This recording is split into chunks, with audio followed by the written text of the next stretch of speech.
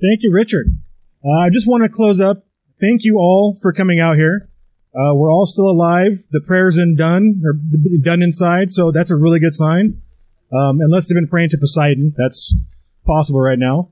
Um, it's kind of a rare thing that we get to do something like this, something a bit more grand than, than normal. So I thank you all for weathering this day and coming out and for the speakers and for Dustin and Lauren, who did a ton of work to put this together, and all the TVCoR members in general, who just uh, day in, day out, do what we need to do. So, uh, thank you all, and uh, enjoy the rest of your day.